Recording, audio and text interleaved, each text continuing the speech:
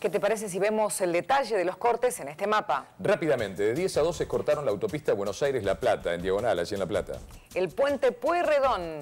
También la autopista Richeri, a la altura del puente 12. El acceso oeste y avenida Vergara.